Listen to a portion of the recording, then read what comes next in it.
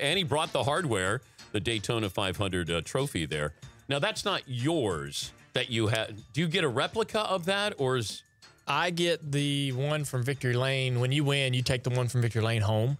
And I believe this might be the one that is up for grabs this coming Sunday in Daytona for the Daytona 500. where are those trophies at home? Those trophies are sitting next to the fireplace in plain view. If if I walk into your house, how long does it take before I know what you do for a living? Probably 10, 15 steps. Oh, what, what, what am I going to see? Well, there's the uh, Daytona 500 trophies. There's the 1999 Xfinity Series trophy. There's my 2004 Bristol Cup trophy, just to name a few. There's about six trophies, seven trophies at home. The rest are over at Junior Motorsports. Okay, but doesn't that make it tough for your wife to decorate with that kind of hardware around? I mean, it's kind of hard to do that, Dale. Yeah, I think uh, that's why there's not. That's not all, all my trophies aren't at the house. I think, um, you know, it gives. But put them in the man cave. Put it in the basement there. Let good. Amy decorate the house. yeah, that's a good idea. Maybe we're heading in that direction. All right. Uh, full introduction here. The uh, two time Daytona 500 winner. You can catch uh, Dale Jr. He competes in the Daytona 500, the Great American Race at Sunday at uh, 2 p.m. Eastern on Fox. NBC Sports Group's coverage of the 2017 NASCAR Cup, uh, Cup Series kicks off Saturday, July 1st on NBC. You've been to hell and back, though, when you think about it here. Yeah. I mean, I didn't, you had the concussion, and then we waited for you to come back. When did you start feeling good or good enough to even talk about it? Uh, well, I had to. I was pretty transparent during the whole process, and that was number one. The reason for that was just for my own peace of mind. I didn't want people wondering about me or making their own assumptions and getting bad information out there. So I thought, you know, I'm in control of it with social media and everything that we have now at our fingertips.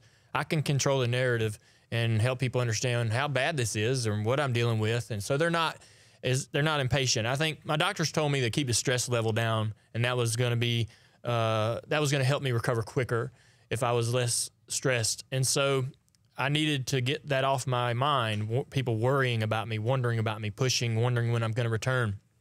So if they could see it with their own eyes, they could relax, and I could relax. Did you ever think about retiring? Oh yeah, I mean when you when you're eh, when- at its worst, when when when you're feeling your worst, you don't want to do nothing that puts you there, right? So I wasn't blaming racing, but I didn't want to get back in the car because because I was feeling this way. That's you know the car got me there in a sense.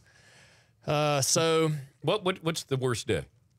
uh, well, you know, you get up, you you get up, and you f- almost can't get off the couch. Like uh, your balance is so bad that standing up to get off the couch is, uh, or turning a corner, and you know, walking through uh, through the kitchen, turning a corner, opening the fridge, turning your head, going from the fridge to the cabinet, just doing a 180, uh, with you know, you almost fall over. Uh, your eyes are shaking with every step. Your eyes, you can't keep your eye on a target 10 feet away. Every step knocks your eyes off that target and they kind of bounce around and you can't find what you were looking at. You have to stand perfectly still to be able to see anything. Did you get nauseous? Lots of, yeah, I had some nausea. Um, I, you know, every concussion is different. Every guy has different symptoms. Some people have different issues, sight or, or, or mental issues and what have you, mood issues. Everybody faces it uh, a different way and, and needs different styles of treatment. But uh, it, yeah, when it was bad, I, did, I you don't even care about racing. I know it's hard to understand or hard to realize, you know what that means, but when you're sick, you just want to be better. I had my wedding coming up on New Year's Eve. Um, hunting season was coming up in November. I had all these things. I'm like, I told my doctor, I said, "There's, uh, I don't want to, I don't want to have any symptoms at my wedding. You know, that's all I cared about was just being able to go through that with a clear mind and be able to enjoy it. You know, every day was not even tolerable with those symptoms. And so I wanted, you know, and he's like, all right, man, you know, we're going to work hard. You're going to work hard. We're going to fix it. And we did. And by, by November, the days were tolerable. All this started in, in July. Uh, but all, you know, the, the days became tolerable around November. You know, starting in November, I think, uh, you know, I got into deer stand, um, you know, 20 feet in the air, uh, holding a bow and arrow. I got to be able to stand up on this uh, tiny little platform to shoot and all that. And I felt confident enough about my balance at that point that I was checking, I started checking boxes like, all right, man, this is, I'm going to be fine. You know, What was that first time behind the wheel? December uh, 14th, we went to Darlington and ran for five hours, probably 200 laps. And the first three or four laps felt uh, it didn't fit like a glove. You know, it didn't. It felt. Uh, I felt it felt a little cumbersome. I didn't have any symptoms, but I just felt raw and and not. You know, when you go to, even when you go to, even after racing for year after year after year, every time you go to Bristol, for example, it's so fast that your mentally takes you about thirty laps to sort of get caught up to what you're seeing. Your mind to get in that mode and see things happening so quickly to be able to react to them just right. And that's kind of what I went through the first three laps. The first three or four laps, I, I was getting up to speed mentally with what I was seeing and, and feeling in the car. By the end of the day, I felt like me and the car were one piece. Like I, me and the car were one piece, and and that's exactly how you want to feel. I felt completely comfortable in everything I was feeling. Football players try to hide concussions. You know, I don't know if you have a different respect for those who play football, but this isn't your first concussion. Did you try to hide the concussion? The uh, this concussion here, I wanted to. I didn't try to hide it because I'd kind of been through that before. In 2012, I layered two concussions together and got in some real dangerous territory doing that. I uh, tried to hide a concussion from a test at uh, Kansas in 2012, and then I got in a wreck four weeks later and got in some real danger. Was that concussion related? Right. Yeah. There was, I had a concussion, tried to race through it, and gotten another crash and another hard lick and layered two concussions together. And that's very dangerous when you get them close together like that. If you get one, you need to get out. You know, every, we're starting to understand and learn the new, new ways of approaching this. Obviously, uh, you got to get out and recover. And I didn't allow myself to do that. And being injured and getting into another incident was uh, the worst thing you can do. So I I got this concussion uh, over. I, this was a, a concussion that accumulated through several accidents this past year. It wasn't just one event, so it was a lot of wrecks that brought on this problem. And it can't. All the concussions I ever had in the past, you wreck, you knew you had it. Like you knew it the minute you got stopped and everything slowed down that something wasn't just right. Right. This one, I felt great um, I'm, I'm, you know, I had a few more wrecks in the season than I normally did, and those accumulative wrecks and impacts uh, brought on these symptoms that I'd never felt before in prior incidents, uh, prior concussions. Uh, these these symptoms I tried to link to allergies, and so yeah, so I had my eyes hurt, my eyes were kind of burning, my vision was blurring. And I'd started getting allergies the last couple years. So I'm thinking, man, these allergies, maybe I'm getting worse and worse and worse. I was talking to my teammate Jimmie Johnson, who deals with allergies, and he had, yeah, there's those are the symptoms. I went to my family doctor, got prescribed meds for allergies. He's like, yeah, it looks like allergies. Oh boy. And so I called my owner the next day and I said, something's going on. I'm not sure what it is. Uh, he said, go to uh, Dr. Petty, who is the neurosurgeon in Charlotte that we all go see when we have issues. He's, I said, You're right. I should probably go because if this gets any worse, I'm not going to be able to drive. Starting to feel dizzy and all that Does he stuff. call himself the king too? Dr. Petty? Dr. Petty, he's no relation to Richard. No, uh, but, I, but yeah. no, if he thinks he's the king too. He is the king. Yeah. He is. Yeah. He he is uh my dad trusted him for years. He's been in the sport as a trusted neurosurgeon and doctor for decades. Um, so I knew I'd worked with him in 2012 to get through that concussion. So I knew I was in good hands, but it didn't dawn on me like this is from crashing. You know, because I before when I would wreck, I knew I had it, and that's what I'd gotten used to. And so this past season, when I was wrecking, I get that car, I feel fine. I'm like, I'm fine. I don't have a concussion. Just Yeah. going through, you know, just another crash.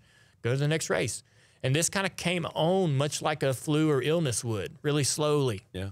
And then uh, What do you think your dad would have advised you to do?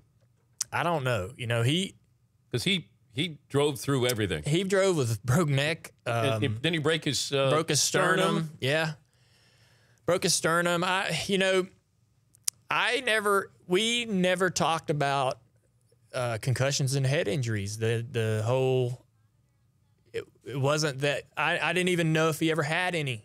You know, I knew he broke his collarbones. He broke both collarbones in a wreck in '79. Broke his femur in '82. Um, you know, he's had some bad crashes, but we never, I never saw him. Uh, I mean, I was around him enough that I would have noticed, but I never saw him with a concussion or wit- or witnessed any. I've never witnessed anyone with this type of situation before. So, and the stigma and the whole attitude toward how you just you race through it, you work through it. Yeah. it was the same way in all sports. Yeah. um, but that's slowly changing, especially with. I mean, you know, you can certainly race with. You want you would try your best to race with injuries, but now that we've learned what we've learned over the last several years, especially through what they've done in the NFL and all these great doctors that are that are trying to treat these folks that uh, that are getting injured, we've learned so much to be able to be a little bit smarter about it.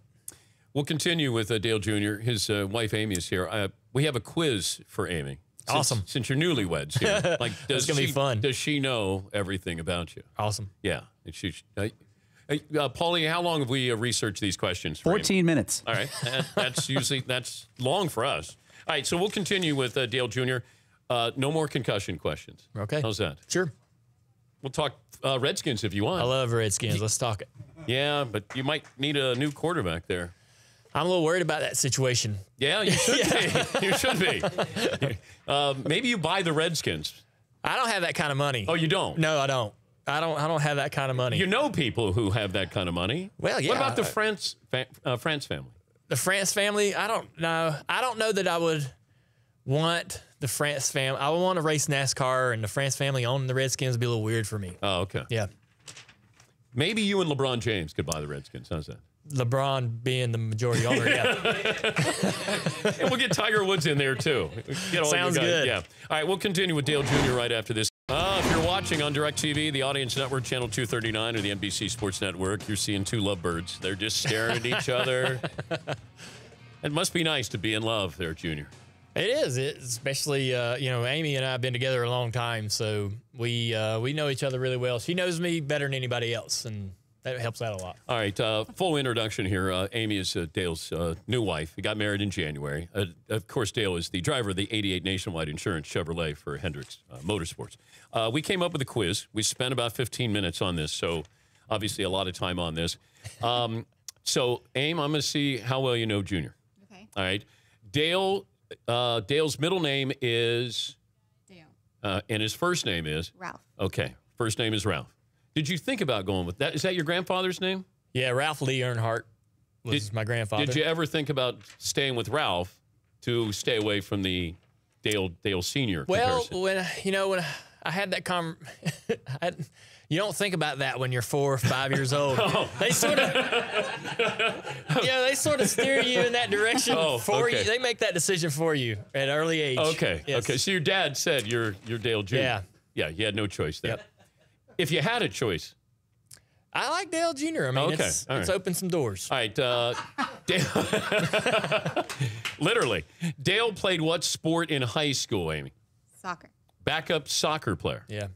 I was a fullback. I didn't know how to, con- I had no ball control, so I couldn't play wing or anything like that, but I could stop a guy from scoring. I mean, that's pretty easy, right? Just get in his way and Yeah. kick, kick the ball. So uh, I played fullback, but I was I was on the bench. In high school, Dale was an A student, a B student, or a C student. C student. C student. C student is correct. That's three for three. Dale prefers to wear baseball hats backwards or forwards. Both. Both? Oh, I don't. I don't know. I thought it was backward. Have you graduated to I forward? think I'm yeah, I it think depends on his hair that day. Oh, oh. How often he's had a haircut. If it, the bigger his hair is, depends on how he wears his hat. now I got a picture three weeks ago, Paulie. Is that right? Yeah, three weeks ago you went hat backwards. in the backwards. Yeah. Driver intros. Yeah. That's right. Yeah, well, Well, that's keep it on. for that. That's to keep it on because it's gonna blow off. Oh, You're in the back of a pickup truck riding around 60 miles an hour, so you got to Oh, turn around backwards okay. so it doesn't All right. uh, end up on the ground. Dale's favorite sandwich is. Oh man. Uh oh. Boy, this. Clearly, I'm not making this. Yeah. Think about san- what? Think sandwich. well, the sandwich I'm making on race day has got No. turkey and no. buffalo sauce on what? it. What sandwich? Wait, wait, wait. Oh, banana and mayonnaise? Yes. Ugh. Yeah, I don't make that. I don't make those. Banana and mayo. Yeah. That is a North Carolina It is. thing. It's a. s- I I think it's. I, I think people in in in the South, Atlanta, New Orleans. I had all kinds of people that knew what it was, but anybody north of Virginia or west of the Mississippi thought it was the worst idea in the world. Well, didn't Elvis eat those kind of sandwiches? Elvis ate uh, Fried banana peanut butter. El- Elvis ate banana mayo peanut butter fried. Oh, fried. Okay. Deep fry the whole sandwich. pound of bacon too. He had a pound of bacon sandwich that he deep fried. That's no joke. Which of Dale's relatives had the most kick-ass mustache in history? I'd say his dad. yeah, there you go. Well done. All right, wait, we got one more. Oh, you got another. Oh, Yeah, I was going to ask her the the final and most important question. okay. All right, so on on NFL Sunday, I got you a Redskins jersey to wear. Whose Redskins jersey do you wear? Um, Oh boy. Riggins? Riggins. Riggins. John Riggins. Yeah. Nice. Diesel. Nice. Crank up that diesel. Right. How is he when when the Redskins lose?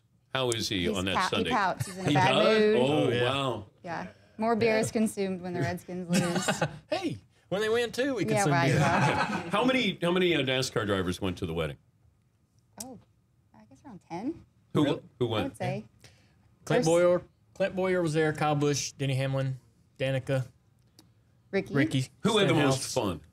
Kyle Busch Kyle and danced Samantha. his tail off. Him and Samantha. Yeah. We were on the dance floor. We had the obviously it was on New Year's, so we had this big New Year's party afterwards. And I looked to my right, and they are like He's doing the John professional Travolta. dancing. But Yeah. does he dance like he drives, like all over the place? Yeah. But it was like a per- with purpose. Like this dance. I mean, they weren't just goofing off dancing like the rest of us. Oh, so they had rehearsed They had this. to do classes or something, don't you think? That seems like it. He had some Yeah. very specific moves. They were, yeah. Uh, Danica, uh, decent dancer. I'm sure. Yeah.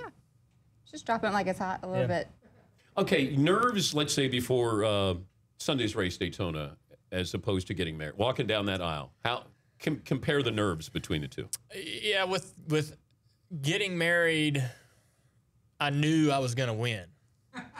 You know, when the race starts, you don't know we're going if you're gonna win or not. She's your checkered flag. Yeah. So I knew I was like, this is a race I'm gonna run that I know I'm gonna win. So Look at you. Had all, all confidence in the world. But how nervous uh, are you going to be on Sunday? Uh, you know, I'm, Considering everything you've gone through. oh yeah, I mean, with the injury and everything coming back, uh, I'll be nervous about myself, my performance, my decisions, my choices. Because in, in plate racing, everything's about instinct and making the right choice to do the right thing in the draft. And you know, so I'll be make. I want to do a good job to make sure that I uh, put forth a good account of myself, my team. They're gonna, you know, we got a great car. We're starting on the front row. It's fast. Uh, so I'll be. I'm always. I mean, I mean, you know, it's human nature. I think to be nervous. So I've always kind of been nervous before qualifying, before races. It's nothing that I ever got used to. Uh, so that, that those nerves will be piling up. What about you, Amy? I'm as nervous as he is. When he's nervous, I'm nervous. It's kind of an energy that passes around the room, you know? And you have no control over anything. That's Right. at least he's driving. Right. Like you have to sit. Where do you watch? I watch in our motor coach. We travel with our dogs, and nobody's watching me in there. I can yell at the TV as loud as I want to, and I usually have the TV pretty low, and I listen to the radio so I can listen to what he's saying with the spotters and everything in the car. Would you want your kids to drive? Oh yeah. Um, you know, the only thing about it is it's super expensive.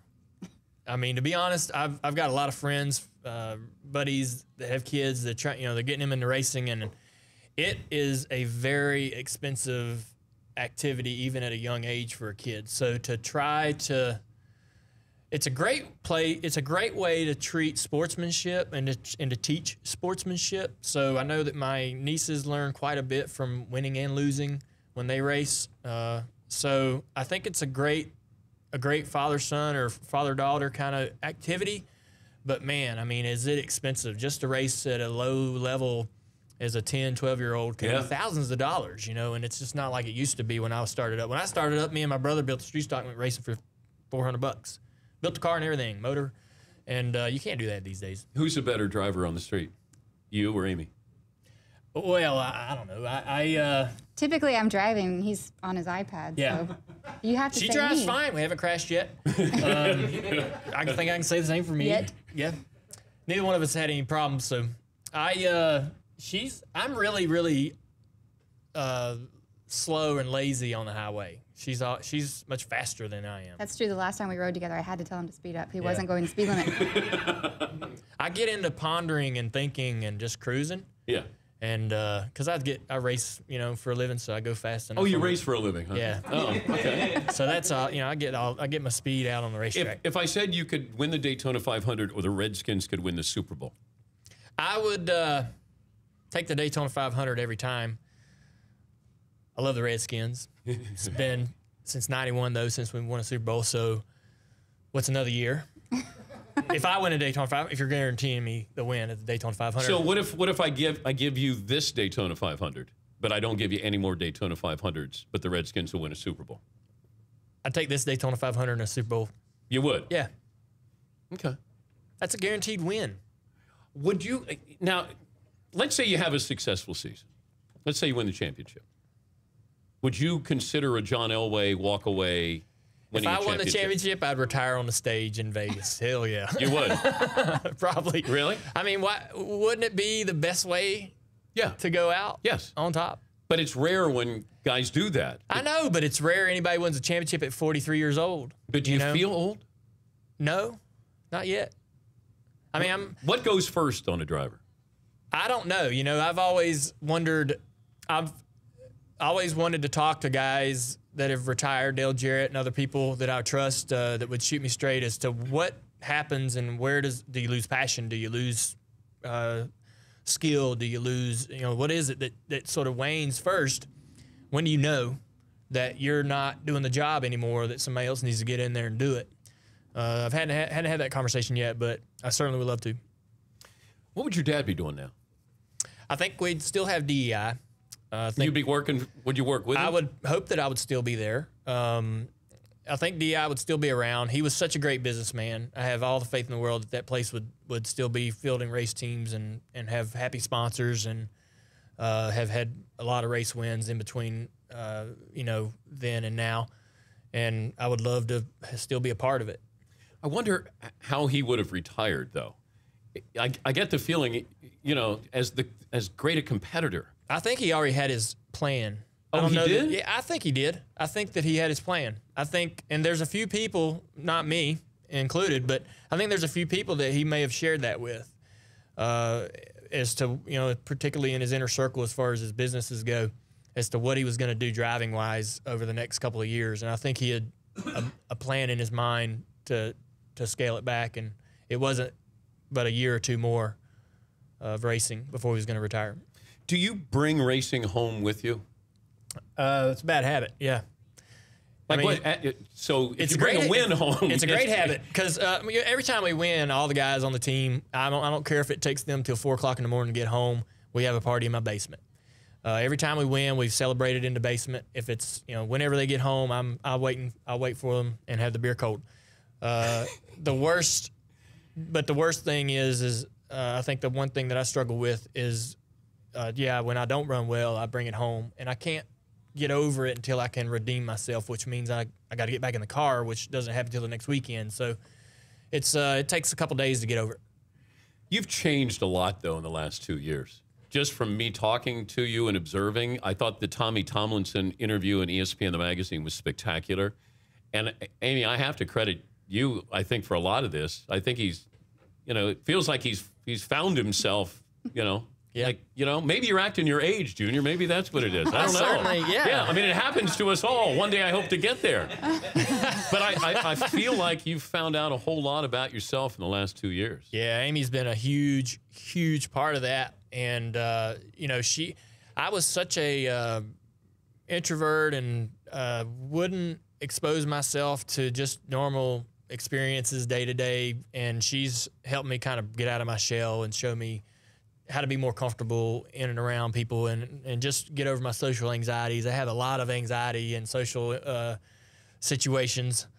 Um, and she's helped me get more and more confidence to be able to get out and do things. So and- when you get in front of people, like you're you're fine racing a car at 180 miles an hour. yeah, But if I put you in a crowd with 20 people, it's it's weird. Yeah, I have social anxiety. I think, uh, uh, and it you know, any I wouldn't go anywhere I wasn't comfortable going, and and I prolonged that for so many years, and it and so yeah, I had a lot of catching up to do, and Amy's helped me kind of get out and be myself. All these other, you know, personal experiences going through the injuries and stuff too is uh, helps you learn a lot about yourself and get your priorities sort of straightened out and what's important. Um, that's all been a big deal. And she's like I say, she spearheaded all that. She was she's been there every every minute ever since I got hurt, all the way through the process of recovery, the workouts, the evaluations, the conversations and meetings with every doctor, family member. She was in every single one of those. Well, but if you think about it, I mean, every year you go back to where your father died, and you know people are going to ask you questions. You know it's coming, you just don't know when it's coming. And Yeah. I don't know how and I've said that before to you a couple of years ago, just to process that. Nobody else can understand that. But you've and, and I don't know if we make too big if I make too big of a deal of it, but I think it's remarkable that you have allowed yourself to open up to process it. And I don't know how long it took to do that, but I couldn't imagine trying to do something like that. Yeah, I think the um, the opening up and being honest and transparent. At first, you're kind of nervous to be judged, uh, but eventually, uh, if you don't give people information, they make their own assumptions and decisions about what you're going through, and that's dangerous too. And and sometimes they can be incorrect and wrong, and and bad information can get out there. Rumor can become fact, and especially in the world we live in with social media and, and stuff just you know there's stuff just flying around out there so i'm just trying you know i think going through uh, the process of recovery and everything being so transparent and showing people what we're dealing with helped me have peace of mind that i knew people weren't worrying about what i was doing they knew they knew the information and knew what i was dealing with Once again, I credit you, Aim. You had to do. there's something different about him the last two years, and that's that's pretty remarkable. And you're in love too. yeah Yeah, yeah. Uh, good luck this weekend. thanks i appreciate Thank you. And uh, if you're watching, by the way, uh, he brought in the Daytona 500 trophy. How much that weigh? i don't know what do you think 150 pounds 100 pounds I can something pick like it that up. It's not that she can heavy. pick it up Amy Oh, can pick it 30, up? 40 pounds. 30, 40 pounds? really And we'll see if she picks it up on Sunday. no pressure. The driver of the number 88 Nationwide Insurance Chevrolet for Hendrick Motorsports. He's Dale Jr. and his uh, great wife, Amy. Thank you for coming in. The Dan Patrick Show, weekday mornings on Audience.